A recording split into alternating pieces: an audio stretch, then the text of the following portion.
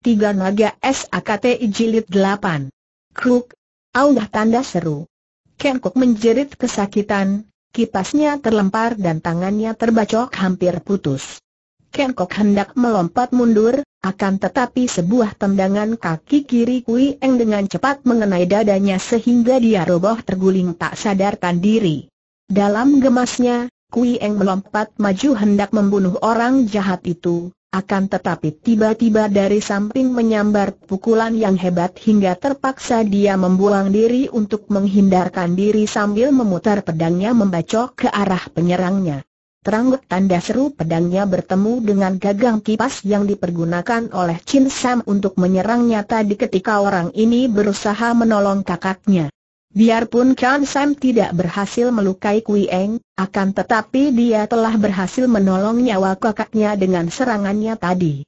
Ternyata bahwa dengan pengeroyokan mereka berdua, Kenan dan Kan Sam berhasil mendesak Bilojin sehingga kakek yang gagah perkasa ini merasa kewalahan juga. Dia hanya memutar-mutar goloknya untuk melindungi dirinya tanpa kuasa membalas sedikit pun juga. Namun berkat ilmu goloknya yang liai, Kedua saudara Ken itu belum mendapat kesempatan untuk merobohkannya karena golok yang diputar. Itu seolah-olah membentuk suatu dinding baja yang luar biasa kokohnya. Kemudian mereka mendengar pekik Ken Kok sehingga Ken Sam segera meloncat dan berhasil menghindarkan Ken Kok dari bahaya maut. Kini Kui Eng bertanding melawan Ken Sam yang tidak kalah lihainya dibandingkan dengan orang pertama dari ketua Heksan Pang itu, bahkan tenaga W.E. Kang dari si tinggi kurus ini luar biasa kuatnya. Setelah ditinggalkan oleh Ken Sam dan hanya menghadapi seorang lawan saja, Pek Bilojin memperlihatkan keunggulannya. Goloknya menyambar-nyambar bagaikan halilintar di atas kepala Ken An sehingga si Kate ini menjadi bingung dan terdesak hebat pertempuran seorang lawan seorang ini terjadi dengan lebih seru lagi karena mereka melakukan serangan mati-matian dan mengerahkan tenaga dan kepandaian seadanya untuk merobohkan lawan. Setelah kini hanya menghadapi An seorang, Pek Bilojin memperlihatkan kehebatannya. Goloknya menyambar dan tiba-tiba ketika kipas lawan menyambar ke arah kepalanya, dia melempar tubuh ke belakang lalu bergulingan dan goloknya menyambar-nyambar dari bawah. Itulah T.E. Tong Tu. Wuut, krak. Aduh Kenan menjerit dan paha kirinya hampir putus terbabat golok Pek Bilojin. Akan tetapi pada saat itu, Pek Bilojin juga memekik kesakitan, karena ketika roboh, Kenan menyambitkan kipasnya yang mengenai pundak dan menancap di pundak kakek itu. Inilah kepandaian istimewa dari Kenan. Sambitannya dilakukan pada saat dia terpelanting roboh sehingga sama sekali tidak diduga oleh lawan dan tenaga sambilannya ini kuat sekali.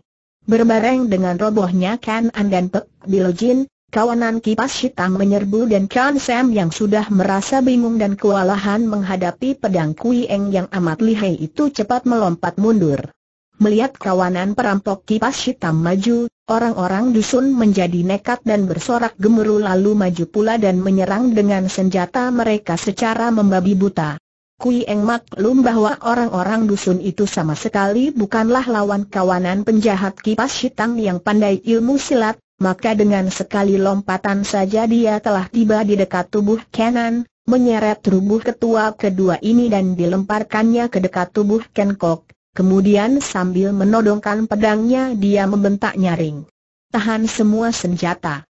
Ken Sam, kalau kau tidak perintahkan anak buahmu mundur, kedua orang kakakmu ini akan kubunuh lebih dulu. Kui Eng menempelkan pedangnya secara bergantian di leher Ken Kok dan Kenan yang masih merintih-rintih kesakitan. Melihat ini Ken Sam terkejut sekali. Jangan bunuh mereka teriaknya dan dia lalu memberi tanda dengan suitan nyaring sehingga semua anak buahnya lalu mengundurkan diri dan memandang kepada ketua mereka dengan bingung dan khawatir. Ken Sam, kita sudah berjanji untuk berkelahi dengan jujur tanpa ada pengeroyokan. Kalau kau memang laki-laki yang gagah, apabila engkau masih penasaran, marilah kau maju dan kau lawan aku sampai penentuan terakhir. Akan tetapi kalau kau hendak melakukan pengeroyokan dengan anak buahmu, aku akan membunuh kedua orang saudaramu ini. Kemudian akan kubasmi habis seluruh anak buahmu ucapan ini dikeluarkan dengan suara keras dan nyaring, dengan sikap yang gagah sehingga kawanan kipas hitam menjadi ketakutan. Melihat ini, Kui Eng makin berani dan semangatnya bernyala-nyala. Dengarlah, hai kalian para anggota kipas hitam. Aku adalah Kui Eng, murid terkasih dari Suhu Lui Sian Lojin yang dulu pernah memberi hajaran kepada kalian. Setelah mendapat ampun dari suhu, ternyata sekarang kalian melakukan kejahatan lagi. Maka, sekali lagi sekarang aku memberi ampun kepada kalian asalkan kalian suka membebaskan putri kepala dusun itu dan membubarkan perkumpulan kipas hitam yang jahat ini. Berjanjilah Kan Sam sebetulnya adalah seorang yang tidak suka melakukan kejahatan dan dia hanya terbawa-bawa saja oleh kedua orang kakak angkatnya.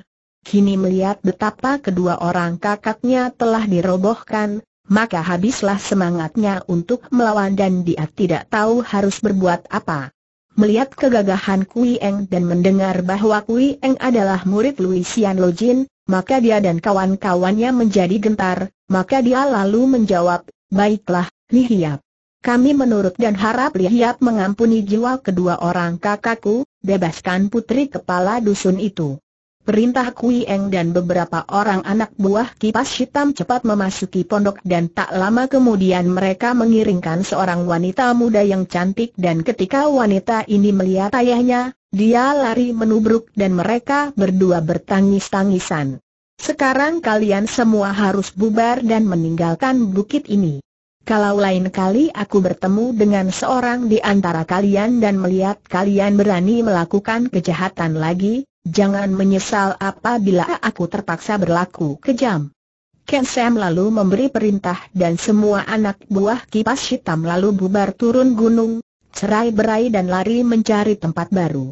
Sementara itu, beberapa orang dusun lalu menolong Pek Bilojin yang hanya terluka kulit dan dagingnya saja di bagian pundak dan tidak membahayakan keselamatan nyawanya. Kemudian, barulah Kui Eng membebaskan Ken Kok dan Kenan, membiarkan Kan Sam dan beberapa orang kawannya menolong mereka dan membawanya turun gunung. Orang-orang dusun dengan dikepalai oleh lurah mereka lalu membakari semua pondok gerombolan yang telah ditinggalkan oleh para penghuninya itu. Kemudian beramai-ramai turun gunung, mengiringkan Kui Eng dan memanggul tubuh Pedilojin yang terluka. Kui Eng dipuji-puji dan dihormati sebagai seorang pahlawan dan namanya menjadi bahan sanjungan setiap orang. Oleh karena sepak terjangnya yang gagah perkasa dan pakaiannya yang berwarna hijau itu, maka orang-orang kampung memberi julukan Cheng Liong Liap, pendekar wanita naga hijau, kepadanya. Dia disebut naga karena sepak terjangnya tiada ubahnya seekor naga sakti yang mengamuk dan membasmi orang-orang jahat. Pek Bilojin juga menerima penghormatan dan perawatan dari para penduduk dusun.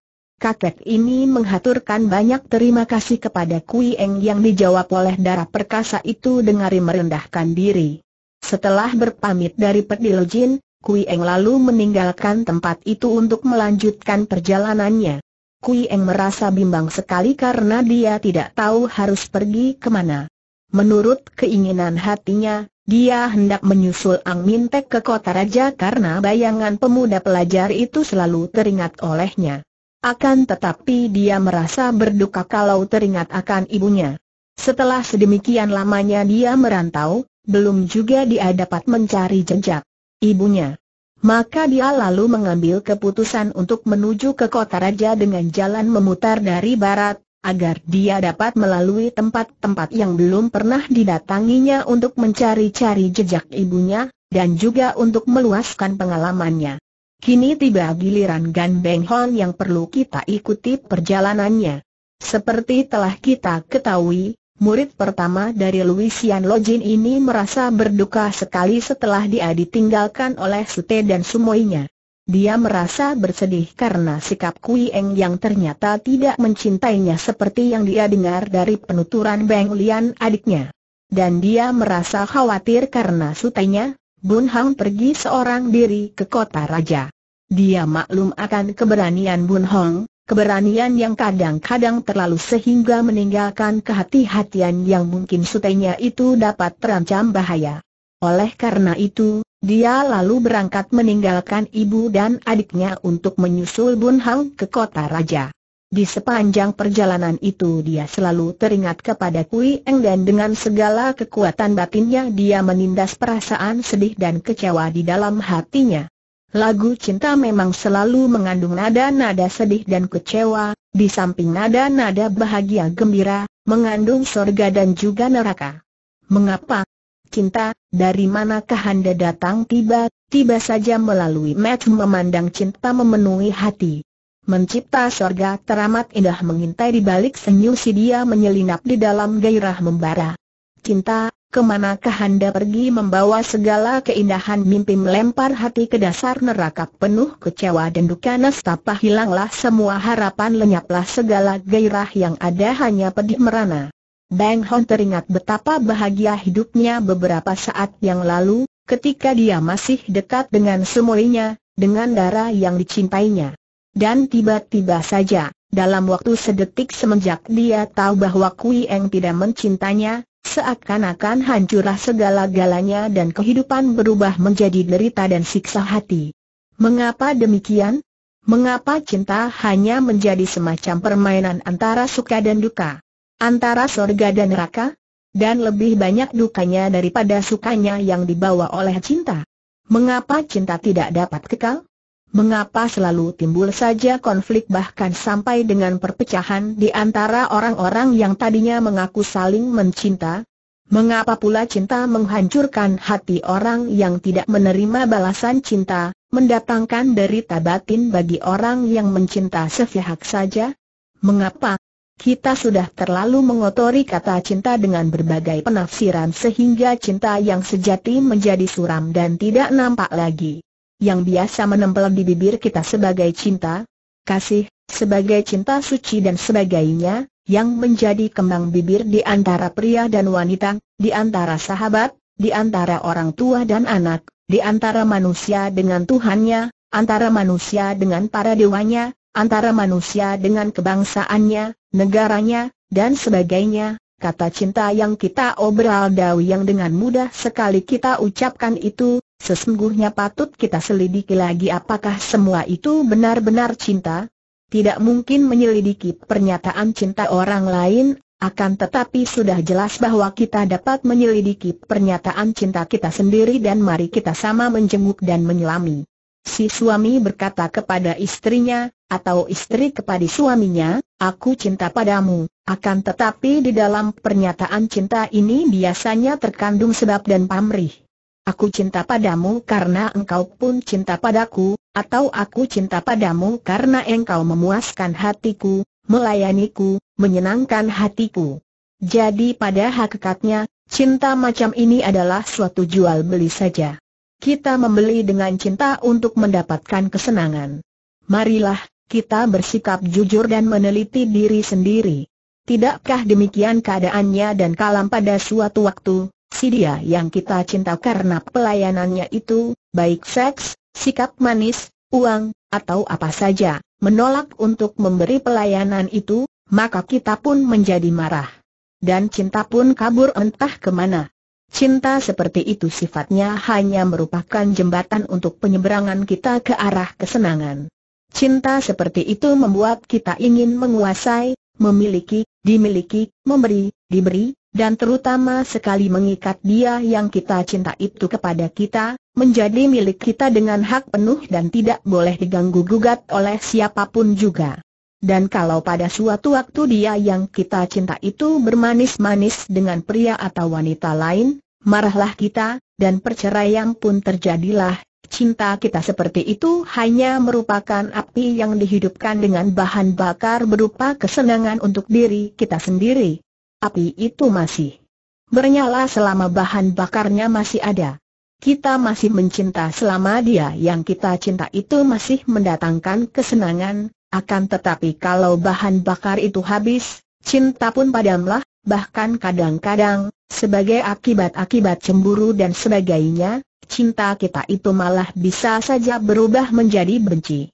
Apakah yang demikian itu benar-benar cinta sejati? Sama halnya dengan cinta kita terhadap sahabat. sahabat yang sudah seribu kali melakukan hal yang menyenangkan hati kita, kita cinta, akan tetapi satu kali saja dia melakukan hal tidak menyenangkan, maka cinta kita luntur, mungkin berubah menjadi benci.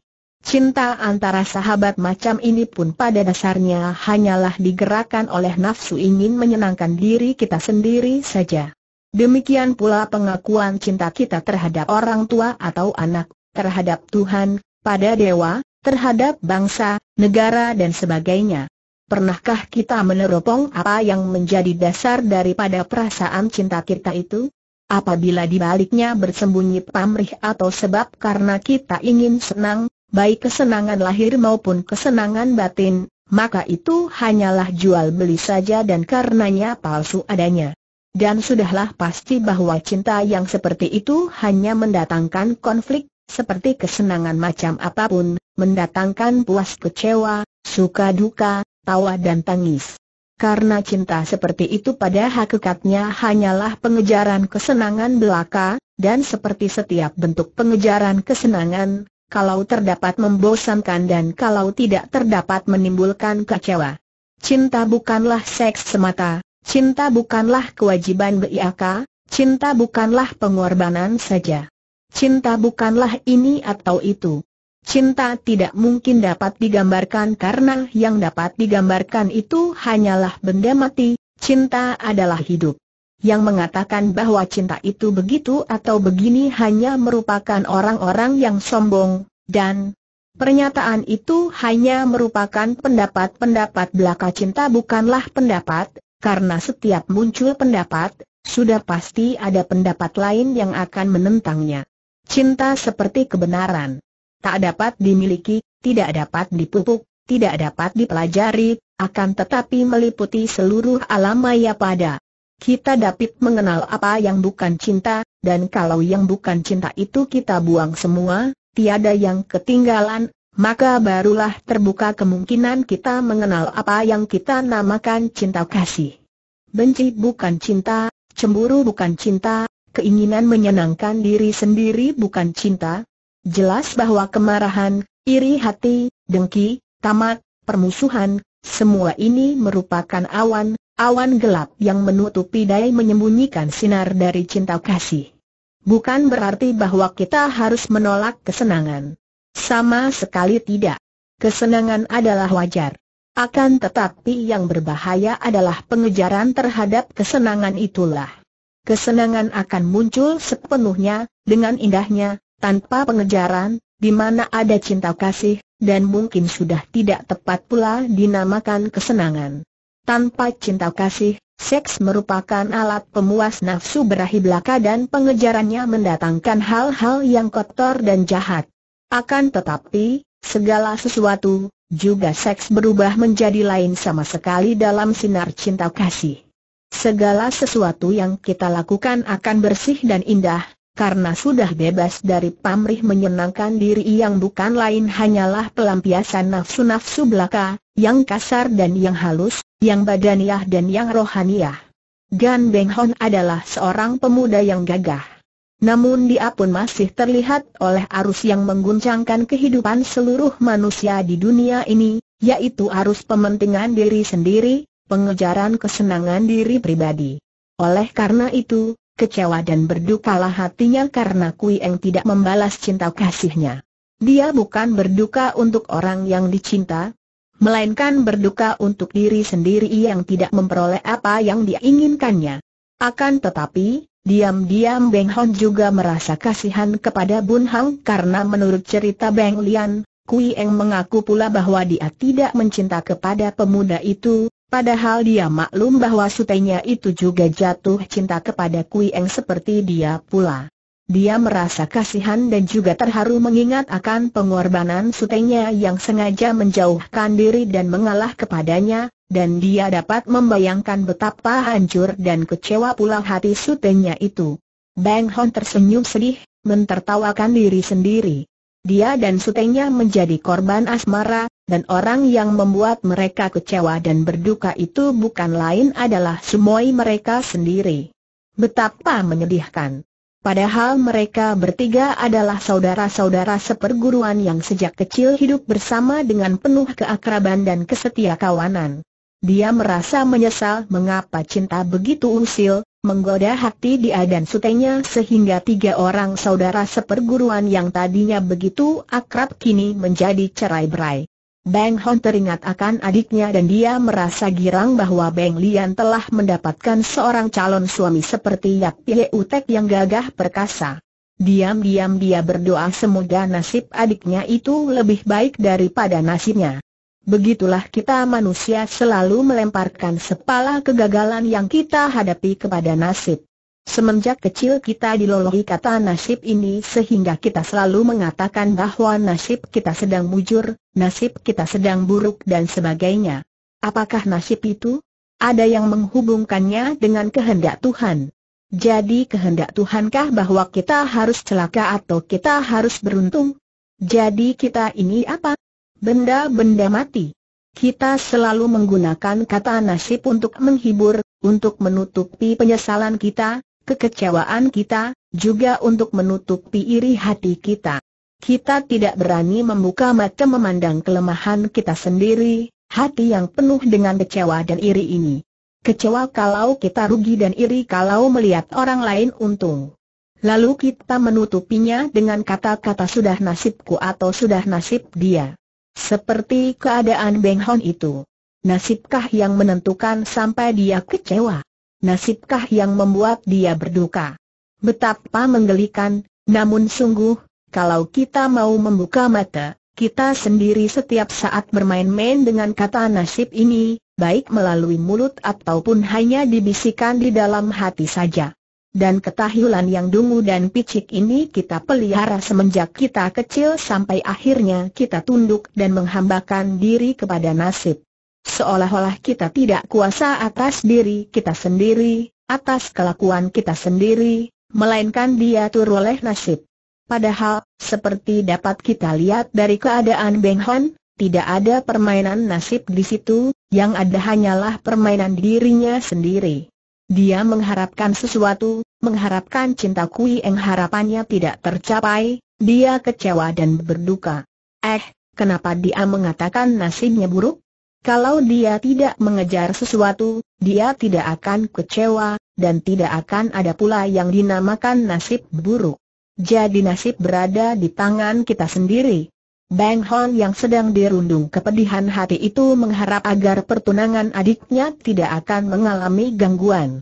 Akan tetapi, ketika dia mengenangkan pertunangan adiknya, Teringatlah ya akan ucapan ibunya bahwa pernikahan adiknya itu tidak akan dapat dilangsungkan sebelum dia yang menjadi kakaknya itu menikah lebih dulu. Bang Hon menghela napas berat. Selain Kui Eng, gadis manakah yang akan dapat menawan hatinya? Pada suatu hari, pagi-pagi sekali dia sudah memasuki sebuah dusun yang besar dan cukup ramai. Dusun Kiong Nam Teng ini memang memiliki daerah yang subur dan para petani di dusun itu dapat hidup cukup lumayan karena hasil sawah ladang mereka selalu baik. Karena baiknya hasil bumi ini, maka dusun itu makin lama makin ramai, dan perdagangan berjalan dengan lancar. Ketika Beng Hon masuk ke dalam dusun, dia merasa heran mengapa pada hari itu tidak nampak seorang pun di sawah yang subur itu. Ketika dia memasuki dusun dan melewati rumah-rumah penduduknya, dia melihat para petani duduk berkelompok di depan rumah seperti sedang membicarakan sesuatu yang amat penting dengan wajah penuh kekhawatiran dan kemarahan. Bang Hon merasa heran dan ingin sekali tahu apa yang terjadi, akan tetapi dia sebagai seorang asing merasa kurang sopan untuk bertanya-tanya karena tidak baik mencampuri urusan orang lain. Akan tetapi karena dia dapat menduga bahwa tentu telah terjadi atau akan terjadi sesuatu yang hebat hingga orang-orang dusun itu tidak pergi ke sawah pada hari itu, maka dia mengambil keputusan untuk berdiam di dusun itu dan melihat apakah gerangan yang terjadi. Setelah matahari naik tinggi, tiba-tiba para penghuni dusun itu keluar dari rumah dan mereka menuju ke sebuah tempat terbuka di sudut dusun, berkumpul di situ. Tak lama kemudian, Dari jurusan timur datang serombongan orang yang kedua tangannya terbelenggu seperti orang-orang tawanan dan mereka diiringkan oleh dua orang. Yang seorang berpakaian seperti seorang tosu dan yang seorang lagi berpakaian seperti seorang perwira tinggi. Melihat ini Beng Hon tidak dapat menahan keinginan tahunya lebih lama lagi, maka dia lalu mendekati seseorang petani tua dan berbisik kepadanya, Lepek, sebetulnya apakah yang sedang terjadi? Siapakah mereka yang ditawan itu dan siapa pula Tosu dan perwira itu?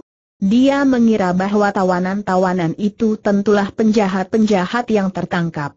Kakek petani itu menarik napas panjang, lalu menjawab dengan bisikan pula, Kongcu, agaknya Kongcu adalah seorang pendatang dari jauh maka tidak tahu akan artinya semua ini. Perwira dan Tosu itu adalah utusan-utusan dari kerajaan dan mereka datang untuk memberi hukuman kepada kepala dusun kami dan semua petugas yang memerintah dusun kami. Bang Hon menduga bahwa kepala dusun beserta para pembantunya itu tentu telah melakukan semacam kejahatan maka akan dihukum oleh utusan dari kota raja. Akan tetapi kalau demikian halnya, kiranya para penduduk itu tidak akan kelihatan berduka, bahkan sepatutnya bergirang. Kejahatan apakah yang telah mereka lakukan? Tanyanya penasaran. Kejahatan? Kakek itu mengulang perkataan itu dengan muka sedih. Bukan kejahatan yang mereka lakukan, bahkan karena mereka melakukan kebaikan, maka sekarang mereka akan menerima hukuman. Tentu saja Beng Hon terkejut dan terheran sekali mendengar ini dan dia memandang kepada kakek itu dengan mata terbelalak. Aneh sekali katanya dengan agak keras sehingga banyak orang menoleh dan memandang kepadanya. Bagaimana orang yang melakukan kebaikan dijatuhi hukuman? SSTTT, jangan keras-keras, Kongcu, kalau terdengar oleh mereka, kita akan dihukum pula. Kepala dusun kami adalah seorang berhati mulia yang membela kami dan dengan diam-diam dia mengurangi pemungutan pajak sawah dan di dalam pelaporannya dia memperkecil jumlah dan luas sawah ladang kami. Akan tetapi celaka, perbuatannya yang hendak menolong kami itu diketahui oleh pembesar-pembesar atasannya sehingga sekarang datang dua orang utusan dari kota raja untuk menjatuhkan hukuman kepada dia dan para pembantunya. Bang Hon merasa penasaran dan juga timbul rasa kasihan terhadap para petugas yang biarpun melakukan penyelewengan terhadap tugasnya akan tetapi bukan untuk dimakan sendiri melainkan untuk meringankan beban rakyat yang dipimpinnya itu. Hukuman apakah yang akan dijatuhkan kepada mereka? Entahlah, akan tetapi kami mendengar bahwa kepala dusun akan dijatuhi hukuman 50 kali cambukan sedangkan para pembantunya 30 kali, sementara itu, rombongan orang yang dibelenggu itu telah sampai di tengah lapangan. Mereka terdiri dari tujuh orang laki-laki yang sudah berusia 40 tahun lebih, dan mereka semua menundukkan muka, kemudian terdengar bentakan si perwira dan mereka bertujuh segera menjatuhkan diri berlutut di atas lapangan. Perwira tinggi besar tadi menggiring mereka lalu memandang kepada semua orang dusun yang berkumpul dan berdiri di sekeliling tempat itu. Kemudian dia berkata dengan suara lantang, kalian lihatlah baik-baik. Tujuh orang ini telah melakukan kecurangan dan mencatut hasil negara, mereka adalah pengkhianat-pengkhianat yang merugikan negara. Menurut patut, mereka harus dihukum mati. Akan tetapi, Tio Taijin yang berwenang dalam urusan ini telah memperlihatkan kebesaran dan kemurahan hatinya dan hanya menjatuhi hukuman cambuk saja. Biarlah hukuman ini menjadi contoh bagi semua orang yang berani membangkang dan melakukan kecurangan dalam hal pembayaran pajak setelah berkata demikian perwira itu lalu memberi tanda kepada seorang tentara untuk melaksanakan tugasnya. Baju kepala dusun dan para pembantunya ditanggalkan hingga tubuh atas mereka menjadi telanjang. Tujuh orang anggota tentara yang menjadi alkojo sudah siap dengan cambuk masing-masing di tangan kanan, menanti tanda. Perwira tinggi itu mengangkat tangan kanan ke atas dan terdengarlah bunyi cambuk berdetak-detak memekakan telinga seperti serombongan penggembala sedang membunyikan cambuk mereka untuk menggiring kerbau. Kerbau ke kandang.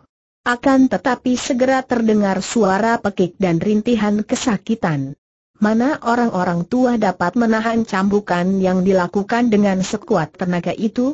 Baru sepuluh kali cambukan saja pada punggung yang telanjang sehingga kulit punggung terkelupas, dua orang di antara mereka telah menjadi lemas dan roboh pingsan.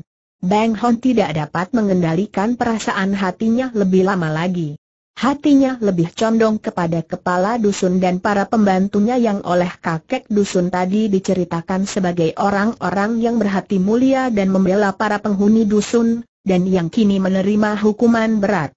Dia tahu bahwa orang-orang dusun yang bertubuh lemah ini, apalagi di antara mereka banyak yang sudah tua, kalau menerima hukuman cambuk seperti itu lebih lama dan dibiarkan saja tentu tidak akan kuat dan akan tewas.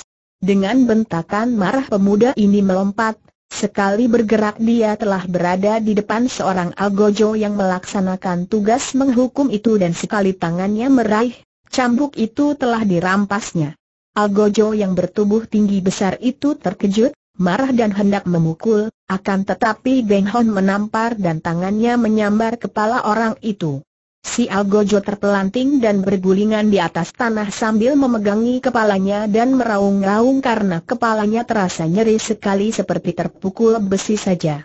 Perwira tinggi besar dan Tosu yang mengawal para hukuman itu bukanlah orang-orang sembarangan. Mereka itu adalah jagoan-jagoan utama di antara kaki tangan Tio Taekam yang sedang bertugas memeriksa dan menghukum kepala kampung di dusun Kiong Nam Teng itu karena kepala dusun ini terlalu membela rakyatnya. Perwira tinggi besar itu bukan lain adalah Bong Im, kakak dari Bong Kak Liong. Perwira ini lihai bukan main dan dalam deretan para pembantu Tio, Taekam, dia adalah termasuk jago nomor dua. Adapun Bong Im dan Bong Kak Leong itu adalah tokoh-tokoh dari Hoa San Pai yang telah memiliki tingkat ilmu kepandaian yarik tinggi sekali, akan tetapi sayang bahwa keduanya adalah murid-murid murtad yang telah melakukan penyelewengan sehingga mereka diusir dan tidak diakui lagi oleh partai persilatan Hoa San Pai yang terkenal. Kedua kakak beradik ini tentu saja tidak akan berani bersikap sewenang-wenang karena mereka selalu diawasi oleh bekas perguruan silat mereka. Akan tetapi, semenjak mereka memperoleh kedudukan, terpakai oleh Tio Tai Kam dan menjadi perwira-perwira kepercayaan pembesar itu, tentu saja kedudukan mereka menjadi kuat, berkuasa dan terlindung sehingga selanjutnya Hoa San Pai sama sekali tidak berani mencampuri urusan mereka. Siapa yang berani menentang dua orang perwira bong yang menjadi kepercayaan Tio Tai Kam itu? Salah-salah bisa dicap pemberontak dan dibasmi oleh pasukan pemerintah. Adapun Tosu yang ikut menjalankan tugas menghukum kepala dusun itu bukan lain adalah Tekpo Tosu, kakek yang amat lihai dan menjadi pelindung atau pembantu utama dari Tio Tai Kam. Tekpo Tosu ini adalah seorang murid yang telah tidak diakui lagi oleh Partai Persilatan Kong Tong Pai di lereng Pegunungan Kunlun. Seperti halnya kedua orang saudara Bong itu, setelah dia menjadi kepercayaan Tio Tai Kam, tidak ada lagi orang yang berani menentangnya dan Kong Tong Pai terpaksa pura-pura tidak mengenal Tosu ini. Perwira Bong Im merasa marah sekali melihat munculnya seorang pemuda gagah dan tampan dan yang lancang sekali berani menyerang Algojo yang sedang menjalankan pekerjaannya. Bangsa terendah, apakah engkau hendak memberontak bentaknya sambil melangkah maju menghampiri Beng Hon? Perwira kejam, jangan kau menggunakan kedudukan untuk menyiksa orang baik-baik, Beng Hon balas membentak dan menentang pandang mata mengancam dari perwira itu dengan berani. Kedua bola mata bongkak Im yang besar itu berputaran mendengar ucapan pemuda itu bocah gila. Tidak tahukah engkau bahwa kau sedang berhadapan dengan seorang perwira dari kota raja? Kau tidak tahu siapa aku, hah tentu saja aku tahu siapa adanya orang macam engkau ini, jawab Beng Hon marah. Engkau adalah seorang perwira bayaran yang kejam dan ganas, yang menganggap bahwa di dunia ini tidak ada orang lain yang akan berani menentangmu. Engkau mengandalkan kedudukan untuk bertindak sewenang-wenang terhadap rakyat jelata. Akan tetapi aku, Gan Beng Hon, sama sekali tidak takut kepada seorang manusia iblis macam engkau kurang ajar Bong Im yang selamanya dihormati orang itu tentu saja menjadi marah bukan main. Sambil membentak, dia sudah menerjang maju, memukul dengan tangan kanannya. Pukulannya kuat dan cepat sekali datangnya. Akan tetapi Beng Hon sudah bersiap sedia. Cepat dia mengelak dan membalas dengan serangan yang cepat pula. Diam, diam Bong Kaim terkejut dan menangkis pukulan pemuda itu. Tadinya Bong Kaim memandang rendah pemuda ini yang dianggapnya seorang pemuda biasa saja yang tahu akan sedikit ilmu silat dan hendak kegagah-gagahan seperti pendekar. Akan tetapi begitu melihat gerakan Beng Hon ketika mengelak dari pukulannya dan balas menyerang, tahulah dia bahwa pemuda ini bukanlah orang yang boleh dipandang ringan begitu saja. Kini timbul dugaannya bahwa agaknya pemuda inilah yang menjadi tulang punggung sehingga lurah dan para petugas di dusun itu berani membangkang perintah. Agaknya pemuda inilah yang mendatangkan keberanian dalam hati mereka yang menganggap telah mempunyai seorang jagoan yang pandai. Bagus! Kiranya engkau ini agaknya yang berdiri di belakang mereka bentaknya dan kini Bong KLM mengeluarkan teriakan keras sekali dan tiba-tiba dia telah mencabut keluar sepasang senjatanya yang luar biasa dahsyatnya dan yang mengerikan hati orang-orang yang melihatnya. Sepasang senjata itu adalah sepasang kapak besar dan tajam sekali sehingga ketika dia menggerakkan sepasang senjata itu, nampak sinar berkilauan menyilaukan mata. Sepasang senjata itu diputar-putar, mengeluarkan suara mengaum bagaikan auman harimau yang marah dan Bongkaim sengaja mainkan kedua buah senjata itu selain untuk memamerkan ilmu kepandaiannya yang hebat, juga untuk menggetarkan hati lawannya. Orang-orang dusun yang melihat perwira itu memutar-mutar sepasang senjata yang demikian mengerikan, tak terasa lagi mengeluarkan suara ketakutan dan mereka mundur menjauh. Hal ini membuat hati Bong Kaim bangga bukan main. Akan tetapi, Bang Hon hanya tersenyum tenang dan pemuda ini pun lalu mencabut pedangnya dan menghadapi lawan dengan pedang melintang depan dada. Sikap pemuda ini yang ternyata tidak gentar melihat sepasang kapaknya, bahkan mencabut pedang dan menantang tanpa kata, kemarahan Bong Kaim menjadi makin berkobar. Dia mengeluarkan seruan keras seperti biruang menggeram, lalu menerjang sambil mengobat-abitkan sepasang kapaknya, menyerang ke arah kepala dan pinggang Beng Han. Agaknya, sekali bacok saja oleh kapak yang lebar dan tajam itu, kepala pasti akan terbelah dan pinggang akan putus. Bang Hon memiliki ketenangan dan kewaspadaan, dia tidak menjadi gentar menghadapi serangan sepasang senjata yang amat kuat dan ganas itu, seperti seekor naga sakti muncul dari tengah samudera, Bang Hon menghadapi sepasang kapak lawan dengan lakan dan tangkisan yang teratur dan rapi sekali. Langkah-langkah kakinya tegap dan tetap, Gerakannya kokoh kuat dan tangkisannya disertai tenaga yang dahsyat. Bongkak ini merasa heran sekali oleh karena setiap kali kapaknya kena tertangkis, dia merasa tangannya tergetar. Bukan main hebatnya tenaga pemuda ini yang mampu menggetarkan tangannya. Padahal, kapaknya telah diagerakan dengan pengerahan sintang, dan jarang ada orang yang mampu menangkis kapaknya itu, apalagi kalau tangkisan itu hanya dilakukan dengan sebatang pedang, senjata yang ringan.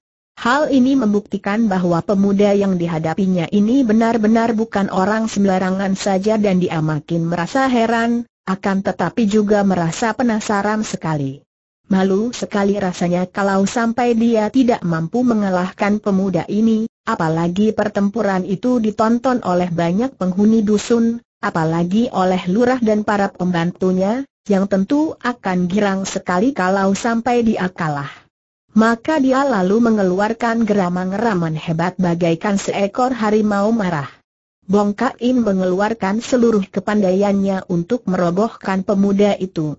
Di lain pihak, Bang Hon juga terkejut bukan main menyaksikan kelihayan lawannya. Dia tidak pernah menduga bahwa perwira yang menjadi utusan Tio Taijan ini sedemikian tangguhnya. Diam-diam dia mengeluh karena kalau di kota raja terdapat banyak perwira yang setangguh ini, maka pasti Bun Hang akan mengalami bencana besar. Baru saja dia membagi pikirannya teringat akan bahaya yang mengancam Bun Hong, hampir saja lambungnya terobek oleh ujung kapak yang menyambar. Teranggek untung dia masih dapat menangkis dan tangannya kesemutan ketika pedang itu bertemu dengan kapak secara keras sekali. Bang Hong lalu mencurahkan seluruh perhatiannya dan memainkan pedangnya sebaik mungkin. Dia maklum bahwa lawannya ini tangguh bukan main. Untuk dapat menjatuhkan lawan yang jelas memiliki ilmu kepandaian yang tidak berada di sebelah bawah tingkat kepandaiannya sendiri, dia harus menyerangnya dengan serangan-serangan maut dan kalau perlu menewaskannya, karena kalau tidak, tentu dia sendiri yang akan celaka. Maka Beng Hong lalu mengubah gerakan pedangnya yang kini lenyap bentuknya, berubah menjadi segulung sinar terang yang menyambar-nyambar ganas. Sinar pedangnya berkelebat bagaikan kilat menyambar dan mencari lowongan di antara gulungan sinar dua batang kapak itu, sehingga Bong Kaim terpaksa harus berlaku hati-hati dan melakukan perlawanan sambil mundur karena ujung pedang lawannya itu beberapa kali hampir saja menusuk lehernya. Pertandingan menjadi makin seru dan hebat, semua mata para penonton yang terdiri dari orang-orang biasa itu menjadi kabur dan silau oleh sinar-sinar senjata dan mereka merasa ngeri mendengar bunyi berdesing-desing dan mengaung-ngaung, apalagi ditambah dengan sambaran angin yang bersuitan. Tek Potosu kehilangan sabarnya ketika melihat betapa Bong Kaim belum juga dapat merobohkan pengacau itu, bahkan mendesak pun tidak mampu. Tosu ini lalu melompat dan mengirim serangan dengan kebutan ujung lengan bajunya ke arah leher Beng Han. Pemuda ini terkejut sekali karena kebutan lengan baju itu mengandung tenaga sinkang yang amat besar. Dia cepat menangkis dengan sampokan tangan kirinya yang dikerahkan dengan tenaga sinkang sekuatnya dan kebutan ujung lengan baju itu terpental.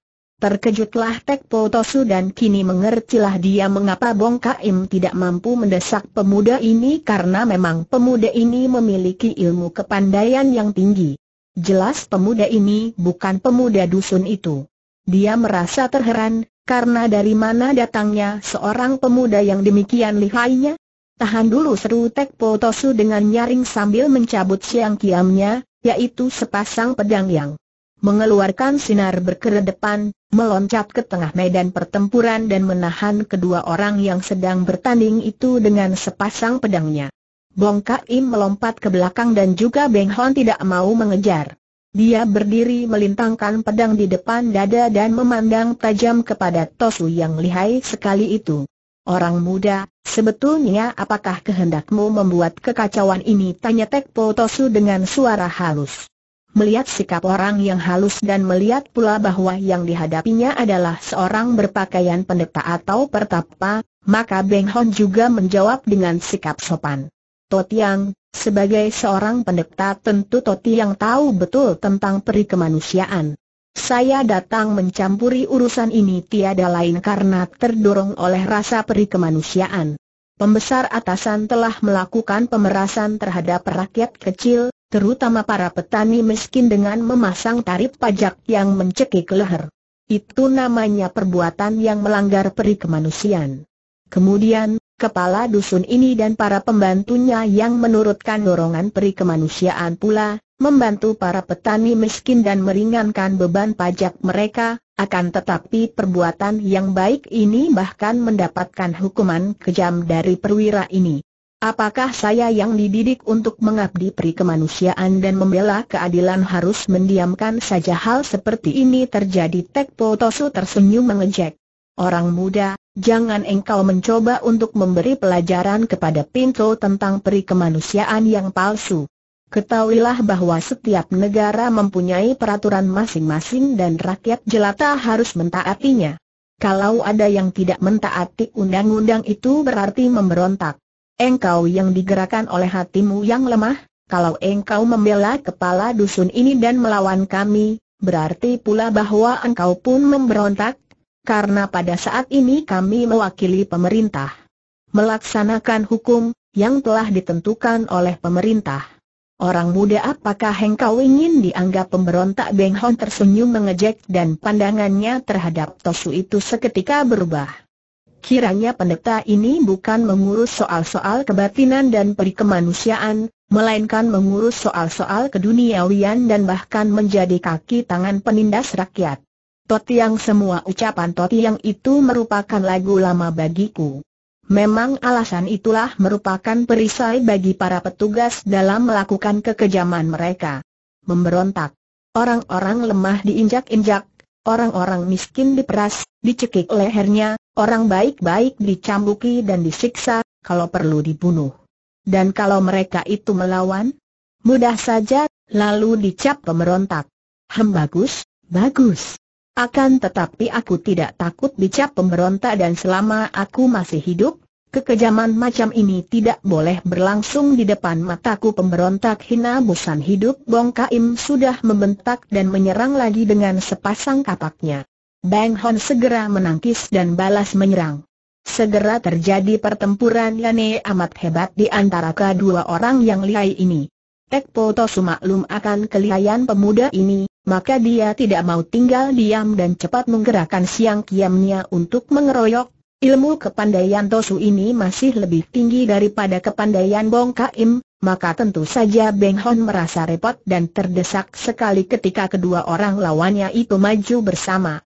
Menghadapi satu lawan satu saja tidak akan mudah baginya untuk memperoleh kemenangan, apalagi kini dikeroyok dua dan Tosu itu ternyata memang amat lihai sekali.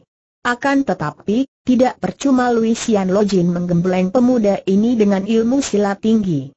Kakek sakti itu telah pula menciptakan semacam ilmu pedang khusus untuk menghadapi pengeroyokan lawan yang lebih kuat. Ilmu pedang ini disebut Dewa Berpayung menolak hujan.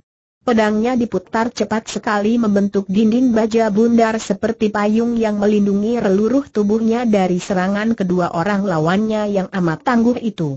Jurus ini mengandalkan kecekatan dan juga kekuatan pergelangan tangan karena pedang itu diputar seperti kitiran angin cepatnya. Betapapun juga ilmu silat Tek Potosu dan Bong Kaim sudah mencapai tingkat yang tinggi, maka dengan kerjasama mereka, empat buah senjata di kedua tangan mereka merupakan bahaya maut yang mengancam nyawa Beng Han.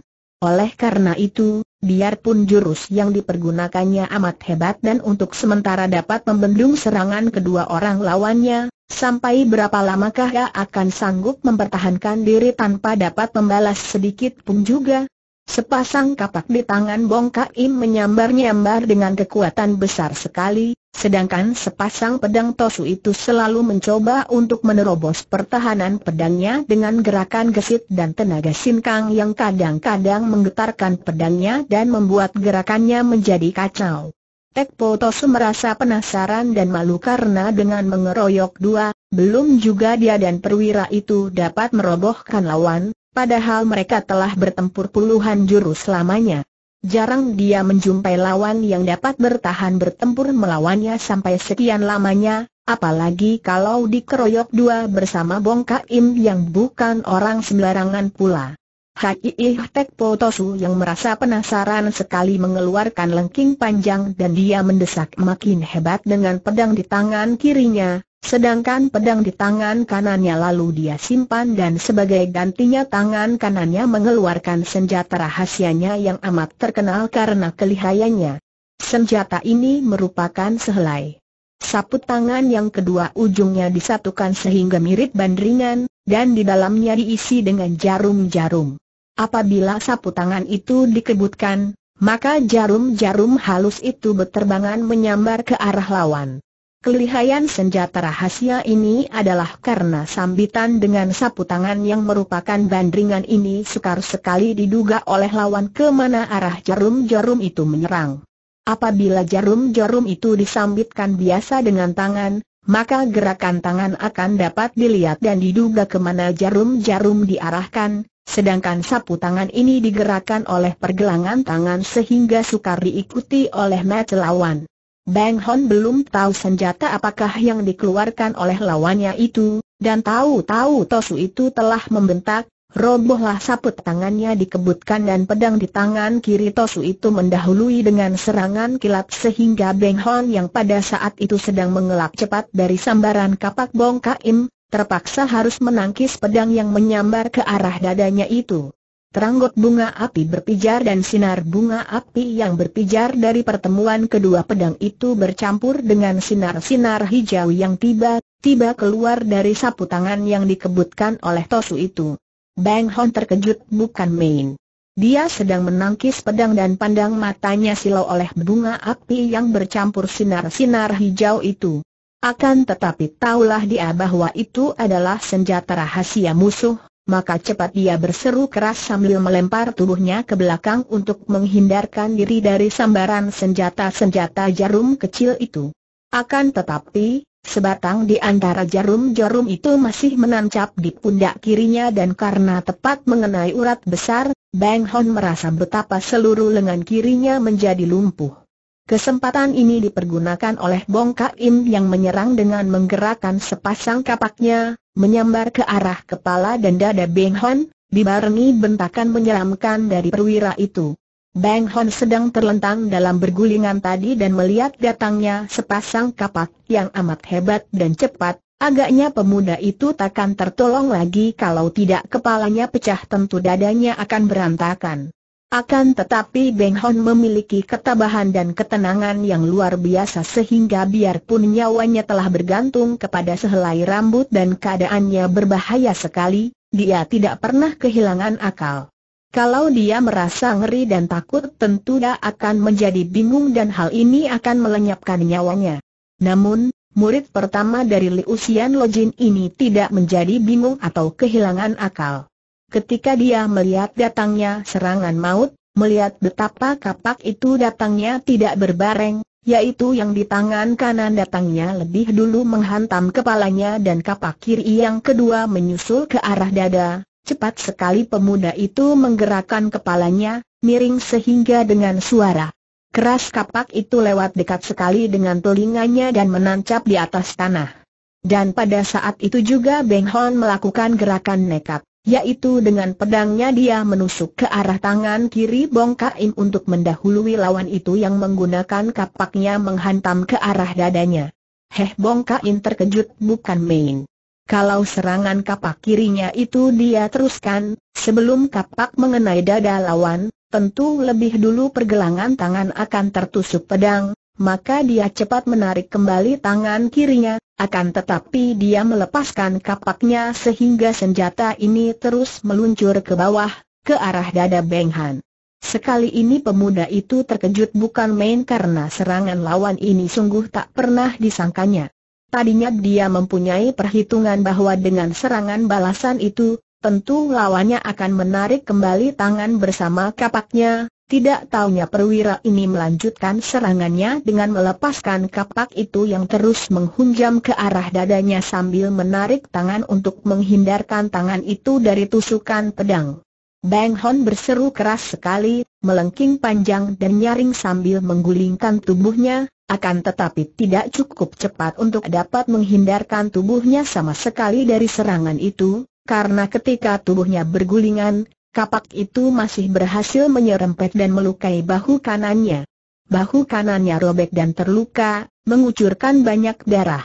Bang Hon melompat berdiri dan biarpun dia merasa betapa bahu kanannya perih dan nyeri sekali, akan tetapi dia tidak pernah mau melepaskan pedangnya dan cepat dah menyerang Tek Po Tosu yang berada di dekatnya.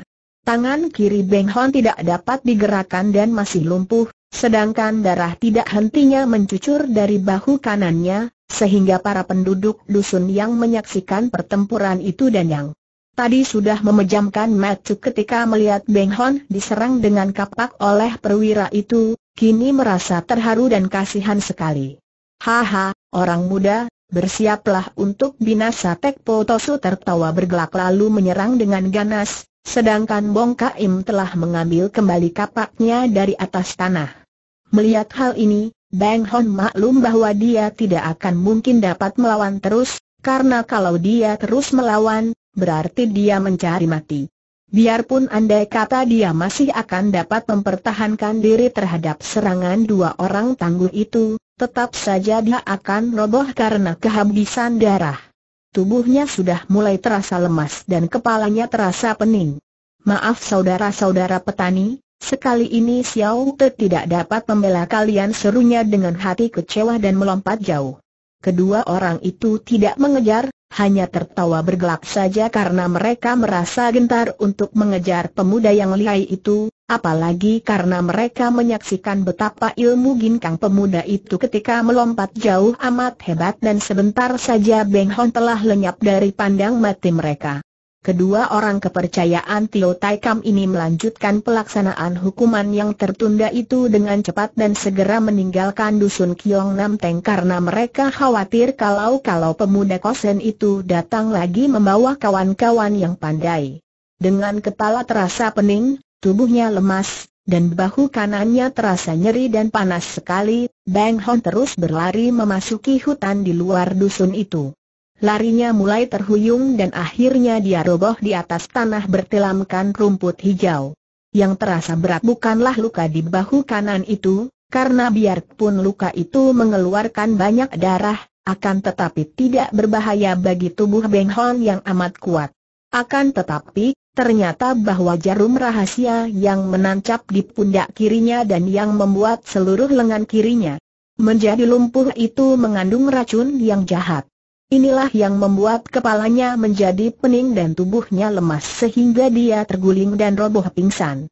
Ketika Gan Beng Hon membuka kedua matanya, dia memandang ke kanan kiri dengan bingung. Seperti dalam mimpi saja ketika dia melihat seorang gadis berpakaian serba putih berlutut di dekat tubuhnya yang rebah di atas rumput. Beng Liankah gadis ini? Dia memandang penuh perhatian. Kepusingannya masih menekan berat pada kepalanya, membuat pandang matanya kurang terang. Bukan, bukan adiknya, akan tetapi seorang gadis yang amat cantik dan yang sama sekali asing baginya. Cantik sekali seperti bidadari. Ah, bidadarikah dia ini? Sudah matikah dia maka bertemu dengan bidadari? Bidadari yang mulia, sudah matikah aku? Tanyanya dengan suara berbisik sehingga wanita itu harus mendekatkan kepalanya untuk dapat mendengar gerakan bibirnya. Tercium oleh Beng Hon keharuman rambut yang panjang hitam itu. Wajah darah itu menjadi merah karena jengah mendengar bisikan Bong Hon yang menyebutnya bidadari itu. Tai Hiap, kau terluka parah. Mari kuantar ke pondok suhu agar supaya engkau memperoleh perawatan yang baik, katanya.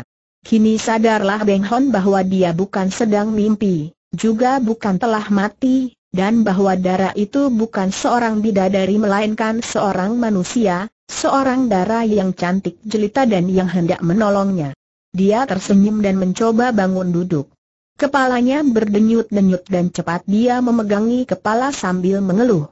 Mari, Tai Hiap, kalau terlambat aku khawatir mereka itu akan datang ke sini. Beng Hon maklum akan kekhawatiran darah ini, maka dia lalu bangun dan berdiri, akan tetapi hampir saja dia terguling lagi kalau darah itu tidak cepat-cepat menyambar dan memegang lengannya. Kepalanya terasa berdenyut-denyut dan tanah yang dipijaknya seakan-akan berubah menjadi gelombang lautan atau tiba-tiba ada gempa bumi besar sehingga seluruh tempat di sekelilingnya menjadi berputaran. Mari ku bantu, Tai Hiap. Tidak jauh pondok suhu dari sini, kata gadis itu dengan suara halus. Terima kasih, terima kasih. Bisik Bieng Hon dan dengan tersaruk-saruk dia melangkah lagi beberapa tindak, akan tetapi kembali dia menahan langkahnya dan menjatuhkan diri duduk di atas tanah. Darah itu berlutut di sebelahnya. Bagaimana, Tai Hiap, tidak kuatkah kau? Tanyanya penuh kecemasan. Kepalaku, ah, kepalaku, Bang Hon mengeluh sambil memejamkan matanya karena kalau metu itu dibukanya, dia merasa makin pening melihat segala sesuatu berputar-putar di depan matanya itu. Bahkan wajah darah yang sedang berusaha menolongnya itu pun tidak dapat dia lihat dengan jelas, dan hal ini mengesalkan hatinya benar. Tiba-tiba dia merasa betapa jari-jari tangan yang halus dan lunak memijit-mijit kepalanya. Sentuhan ini mengurangi denyutan di dalam kepalanya. Enak, enak dan nyaman sekali, bisiknya dan makin asyiklah kedua tangan gadis itu memijit-mijit kepalanya. Tai Hiap, kita harus lekas pergi dari sini. Kalau kedua orang keparat itu lewat di sini kau akan mendapat celaka, bisik gadis itu. Teringatlah Beng Hon kepada dua orang lawannya yang tangguh. Maka dia lalu berdiri lagi dan berkata perlahan, Marilah, bawalah aku ke mana saja, aku percaya kepadamu. dan dia lalu memaksa dirinya melangkah maju, berpegang pada tangan dan pundak orang yang menolongnya itu, tidak ingat sama sekali bahwa orang itu adalah seorang darah yang muda dan cantik sekali. Kasihan, lenganmu penuh darah, dia mendengar darah itu berkata perlahan dan suaranya seperti orang menahan isak. Bang Hondam saja, hanya berjalan terhuyung-huyung dan dipapah oleh darah itu. Dia memejamkan matanya, menurut saja ke mana pun dia dibawa oleh penolongnya. Kasihan, pemuda gagah yang malang, kata gadis itu pula perlahan. Apa, apa katamu Beng Hon bertanya sambil membuka matanya dan mencoba untuk memandang wajah orang yang berjalan di dekatnya itu, akan tetapi dia hanya melihat bayang-bayang saja. Wajahmu pucat sekali, kata gadis itu, akan tetapi Beng Hon tidak dapat mendengarnya lagi lanjutan kata-kata itu karena tiba-tiba dia mengeluh dan roboh pingsan dalam pelukan gadis itu yang cepat menyambut tubuhnya yang terguling. Dia tidak tahu betapa gadis itu dengan sigapnya lalu memondong tubuhnya dan berlari menuju ke sebuah pondok kecil di tengah hutan. Melihat tenaga dan kesigapan gadis itu dapat dimengerti bahwa sedikitnya dia tentu memiliki ilmu kepandaian silat yang lumayan juga. Bang Hon Siuman kembali dari pingsannya. Panca inderanya bekerja kembali, kesadarannya yang tadi entah melayang ke mana sekarang telah berkumpul kembali. Dia tidak membuka matanya, takut kalau-kalau dia akan merasa pening lagi, dan dia ya tetap perbah terlentang mengumpulkan kesadaran dan ingatannya. Dia masih merasa bingung. Tiba, tiba suara yang tadinya hanya merupakan bisikan-bisikan dari jauh itu makin terdengar nyata. Koma jarum itu tepat mengenai urat besar dan racun dari jarum itu telah mengotorkan darahnya. Untung sekali tubuhnya kuat sehingga dalam tubuhnya terdapat daya penolak yang cukup kuat, Terdengar suara orang yang diucapkan dengan lemah lembut, seperti suara orang yang telah lanjut usianya dan tenang batinnya. Dia memang gagah dan berbudi, patut kita rawat dan kita tolong sampai sembuh betul. Harap saja Toti yang sudi menolongnya sedapat mungkin, kata suara orang lain. Pinto akan berusaha sedapat mungkin, dan Pinto yakin bahwa dia akan sembuh kembali, walaupun akan makan waktu yang agak lama, kata suara lemah lembut tadi. Bang Hon membuka matanya dengan perlahan.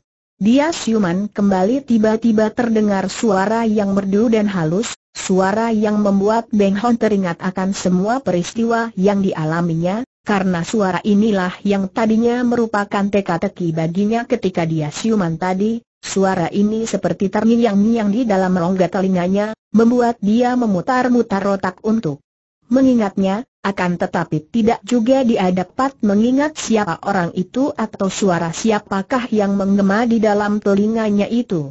Kini setelah suara itu terdengar oleh telinganya, teringatlah dia bahwa suara yang halus merdu itu adalah suara orang yang telah menolongnya. Dia membuka matanya dan pertama-tama yang dilihatnya adalah wajah seorang tua yang berpakaian seperti seorang tosu. Pendeta ini sudah tua sekali, rambut dan jenggotnya sudah putih semua dan wajahnya membayangkan ketenangan dan kebijaksanaan. Bang Hon mengalihkan pandang matanya dan kini dia mulai mencari-cari dengan pandang matanya yang sudah terang kembali. Dia melihat wajah kepala dusun yang mendapat hukuman dari dua orang utusan Tio Tai Kam dan yang telah dibelanya itu, akan tetapi dia tidak memperdulikan pandang mata penuh kagum dan terima kasih dari orang tua ini, dan segera dia melayangkan pandang matanya ke arah lain, mencari-cari. Beberapa buah wajah orang yang dikenalnya sebagai pembantu-pembantu kepala dusun itu dilewatinya saja dan akhirnya bertemulah dia dengan wajah yang dicari-carinya. Wajah seorang darah yang memiliki sepasang metu yang indah sekali, membayangkan kemesraan dan kehalusan, wajah Weng manis dan bersih, wajah seorang bidadari.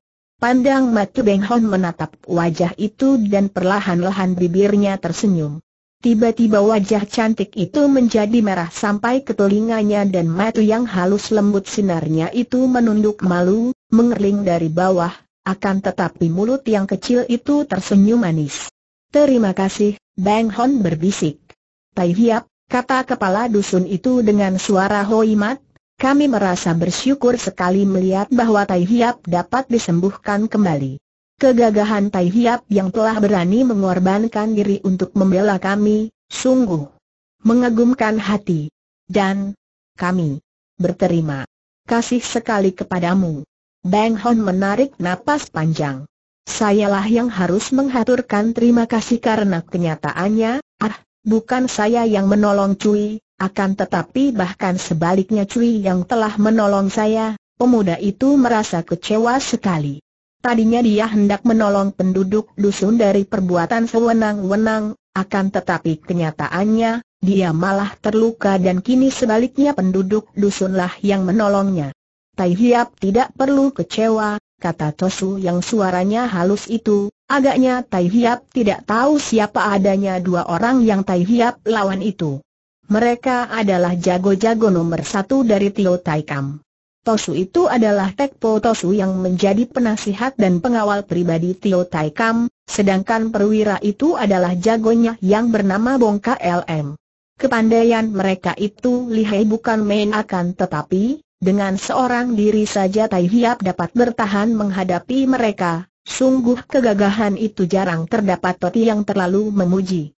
Sebaliknya siapakah Totiang yang telah menolong saya Tosu itu tersenyum ramah. Tidak ada sebutan menolong dalam hal ini, Tai Hiap. Pinto adalah seorang yang mengerti akan soal pengobatan, maka sudah sepatutnya lah kalau Pinto merawat dan mengobati setiap orang yang menderita sakit.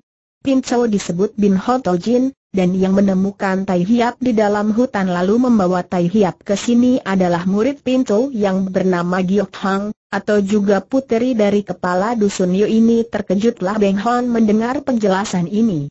Tidak taunya darah yang seperti bidadari itu, yang telah menolongnya dan membawanya ke sini, adalah murid seorang berilmu dan puteri dari kepala dusun itu sendiri.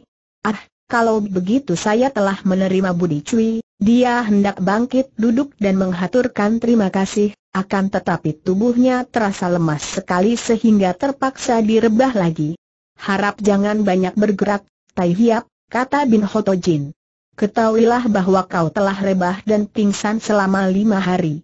Tai Hiap harus banyak beristirahat dan minum obat yang Pinto sediakan untuk membersihkan darahmu dari racun, Bang Hon hanya dapat mengangguk dan sambil mengerling ke arah Giok Hang yang masih berdiri di sudut, dia berbisik lagi, terima kasih, setelah itu, dia memejamkan mata lagi karena merasa betapa pandang matanya berkunang. Tanpa terasa dia jatuh pulas karena pengaruh obat yang didekatkan di bawah hidungnya oleh Bin Ho Tojin. Ketika pada keesokan harinya dia terjaga dari tidurnya, dia merasa heran sekali melihat Giok Hang telah berada di kamar itu dan duduk di atas sebuah bangku dekat pembaringannya. Koma kau, Nona Beng Hon berkata dengan hati heran dan tercengang. Giok Hang mengangguk sambil tersenyum manis. Engkau sudah berangsur sembuh, Tai Hiap, akan tetapi belum boleh banyak bergerak, suara itu. Teringatlah Beng Hon akan bidadari itu. Kesan ini sukar dihilangkan dari dalam ingatannya maka tanpa disadarinya dia lalu berkata, Ah, engkaulah orangnya yang menolongku itu, kulit muka yang putih halus itu berubah merah. Tai Hiap, harap jangan disebut-sebut lagi hal itu, hanya membuat aku merasa malu saja, Bang Hondam saja dan memandang tajam kepada wajah yang manis itu. Dia merasa heran sekali mengapa seorang darah muda yang demikian cantik jelita, putri kepala dusun.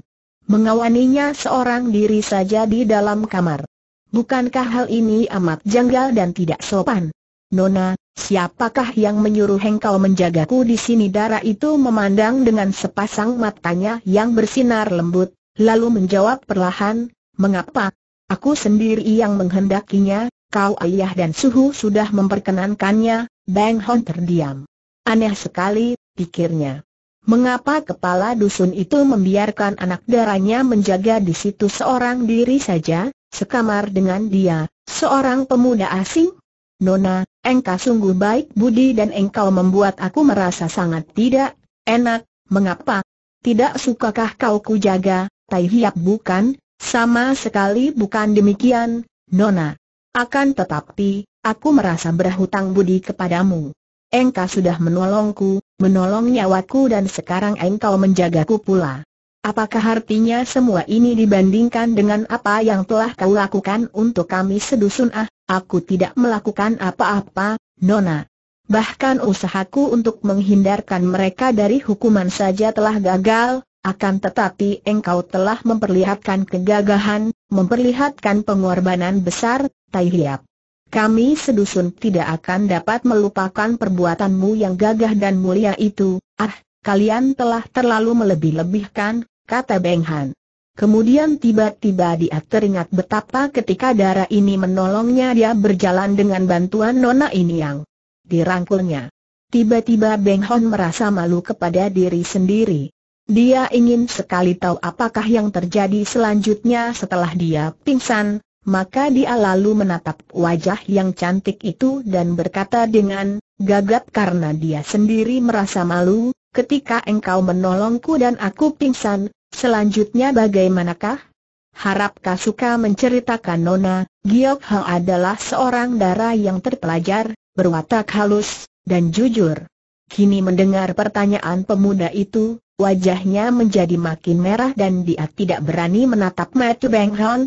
Dengan terpaksa dia menjawab, suaranya agak gagap, kau pingsan dan ketika itu, aku khawatir kalau-kalau mereka datang, maka, terpaksa, Aku lalu memondongmu dan membawamu lari ke sini, terbelalak kedua mata Beng Hon memandangnya, bukan terheran karena perbuatan itu yang agaknya kurang patut dilakukan oleh seorang gadis, akan tetapi terheran karena bagaimana seorang gadis lemah lembut seperti Giok Hang ini kuat memondong tubuhnya, bahkan membawanya lari?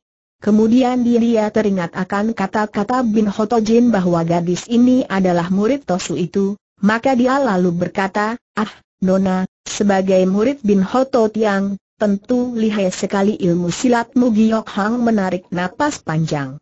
Kalau ilmu silatku selihai kepandaianmu, mana akan kudiamkan saja dua orang keparat itu melakukan keganasan di dusunku gadis itu lalu menuturkan riwayatnya secara singkat ternyata bahwa Yogiok Hang adalah putri tunggal dari Yo Chung Chu, kepala dusun Kiong Nam Peng itu.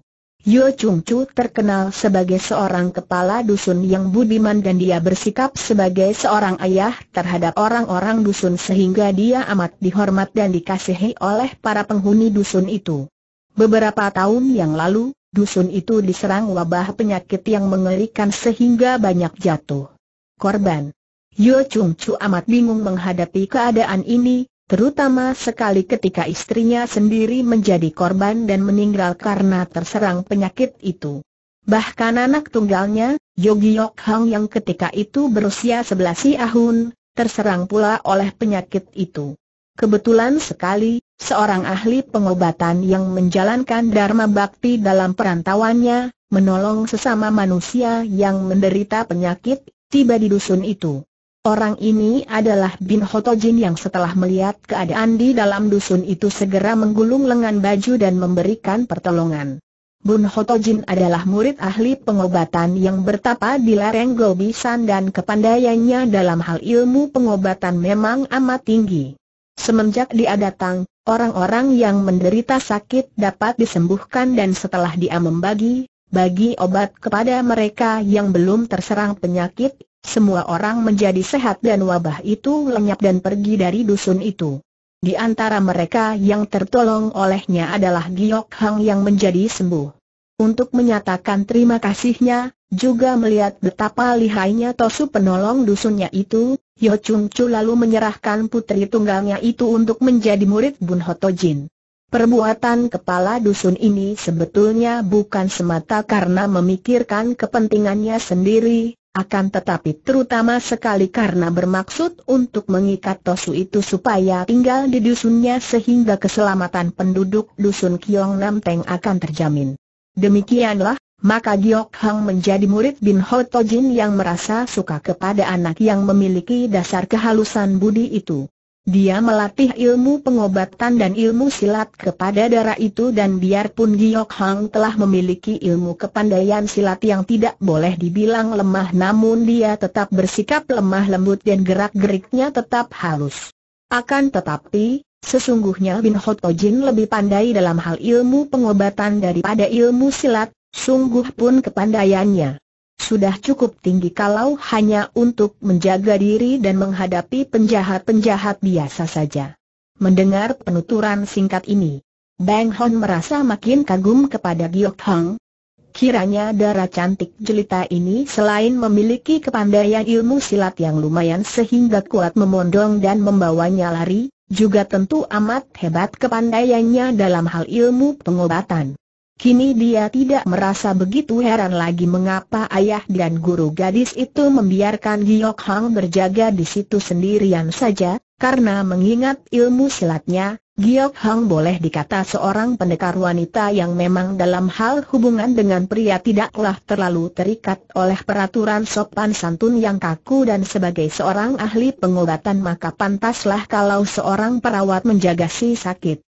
Racun yang terbawa oleh jarum tek potosu yang menancap tepat di urat pundak Beng Hon amat berbahaya. Kalau saja Beng Hon tidak memiliki tubuh yang kuat dan sinkang yang kuat pula, dan tidak keburu tertolong oleh Bin Hotojin yang pandai, tentu pemuda ini akan tewas atau setidaknya menjadi lumpuh seluruh lengan kirinya.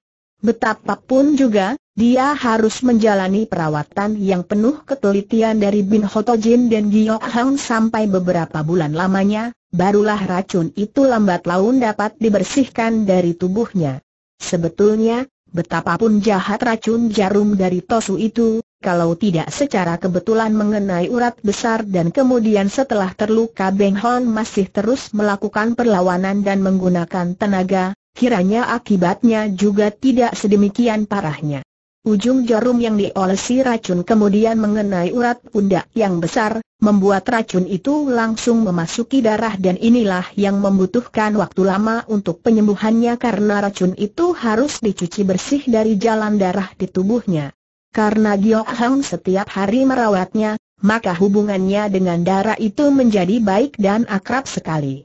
Dan para penduduk dusun yang berterima kasih dan kagum kepadanya, kadang-kadang datang berkunjung ke pondok Bin Hotojin untuk menengok Beng Han. Akan tetapi, perawatan Beng Hon di pondok Tosu itu amat dirahasiakan dan sama sekali para penduduk tidak boleh membicarakan dengan orang luar, karena kalau sampai terdengar dan diketahui oleh Tio Tai Kam, tentu pembesar itu tidak akan mendiamkannya saja. Hal ini pula yang memaksa Beng Hon harus tinggal bersembunyi dan tidak keluar dari pondok kecuali kalau malam. Dia bukannya takut ketahuan akan tetapi dia tidak mau membuat dusun itu mengalami bencana karena dia seorang. Pada suatu hari, Yo Chung Chu mengunjunginya dan pada wajah kepala dusun ini terlihat tanda bahwa dia mempunyai suatu maksud tertentu yang hendak dibicarakannya. Hal ini diketahui oleh Beng Hon dan pemuda ini menduga-duga ketika dia mempersilakan tamunya duduk. Gantai Hiap, Kata kepala dusun itu setelah mengambil tempat duduk, aku hendak menyampaikan maksud hatiku yang telah lama terpendam. Harap saja engkau suka memaafkan apabila merasa terhina dengan maksud hati yang keluar dengan tulus dan jujur ini, Bang Hon merasa tidak enak mendengar ini kesehatannya telah pulih kembali dan dalam beberapa hari lagi dia sudah akan dapat melanjutkan perjalanannya oleh karena dia amat mengkhawatirkan keadaan sutenya yang telah lama mendahuluinya ke kota raja itu. Dia tidak mau memusingkan diri dengan menduga-duga, maka jawabnya tenang, Yo Opek, janganlah Lopek bersikap sungkan katakanlah saja apa gerangan maksud hati Lopek itu. Dan, Gantai Hiap, engkau tentu titik maklum sudah bahwa aku dan seluruh penduduk Dusun Kiong Nam Teng amat berterima kasih kepadamu dan bahwa kami suka sekali kepada Tai Hiap yang gagah perkasa. Oleh karena itu, sudah lama sekali. Terkandung niat di hatiku, apabila engkau tidak merasa terhina dan dapat menerima, aku akan merasa berbahagia sekali untuk menjodohkan putri tunggalku dengan Tai Hiap, Bang Hon tercengang bukan kepalang. Wajahnya berubah merah sekali, dan jantungnya berlebar. Nona, Giok Hang ya, puteriku Giok Hang biarpun bodoh dan buruk, akan tetapi aku yakin dia akan menjadi seorang istri yang baik oleh karena, dia amat kagum dan suka kepadamu, Tai Hiap, Untuk beberapa saat lamanya Beng Hon tidak mampu mengeluarkan kata-kata untuk menjawab pernyataan Yo Chung Chu tadi. Dia menjadi bingung karena sesungguhnya dia tidak pernah menyangka akan hal itu. Dia merasa suka sekali kepada Giok Hang yang lemah lembut dan halus budi pekertinya itu juga memiliki hati yang mulia, akan tetapi tentang perjodohan dengan gadis itu, dia sama sekali belum pernah memikirkannya apalagi mengharapkannya. Kini, menghadapi pinangan dari ayah darah itu, terbayanglah wajah Kui Eng di pelupuk matanya dan hatinya menjadi berduka. Dia mencinta Kui Eng dan terhadap Giok Hang, biarpun gadis ini manis, cantik jelita, dan berbudi luhur, namun dia hanya suka dan kagum saja. Benar-benarkah gadis ini suka kepadanya, cinta kepadanya? Yulopek, mohon maaf sebanyaknya, dalam hal ini saya, sama sekali belum pernah memikirkannya.